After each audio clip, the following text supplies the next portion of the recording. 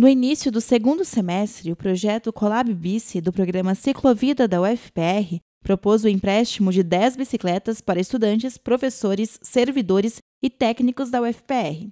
As bikes abandonadas nos campi da UFPR foram recuperadas pelo projeto e agora emprestadas para a comunidade com o objetivo de incentivar o uso da bicicleta como transporte. A gente pensou, né, com relação ao empréstimo para a comunidade, foi que muitas vezes as pessoas têm aquela vontade, né? Será que eu poderia ir de bicicleta? Será que é possível? Será que eu consigo?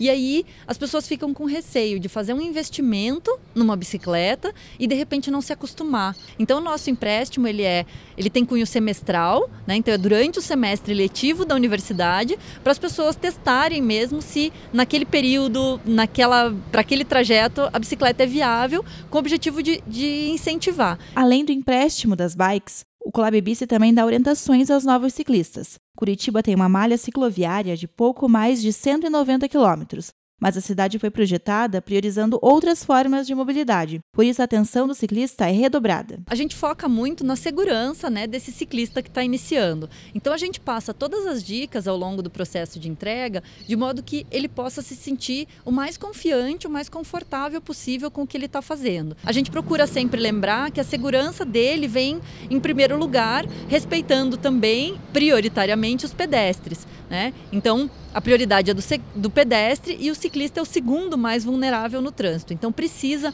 um cuidar né, do outro. Então eu cuido do pedestre como eu gostaria que todo mundo cuidasse de mim, que sou ciclista. A bicicleta, como meio de transporte, garante vantagens. É mais econômica, rápida, saudável e ecológica.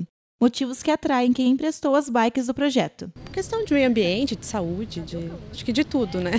Para ir de carro, muito trânsito, para ir de ônibus não tinha, e para voltar, para ir andando até dava, mas para voltar muito perigoso. Estou procurando cuidar da minha saúde e eu gosto, eu acho legal pessoa que anda de bicicleta e eu queria fazer parte disso. Escolhi a bicicleta porque tem alguns momentos da minha vida que eu quero ficar comigo mesma, assim, e só ir me sentir leve. A Camila e a Isis já seguiram seus caminhos com a nova bicicleta. O projeto empresta as bikes durante o semestre letivo, até dezembro, até lá, todos esses novos ciclistas poderão passar pela experiência de aproveitar a cidade em duas rodas.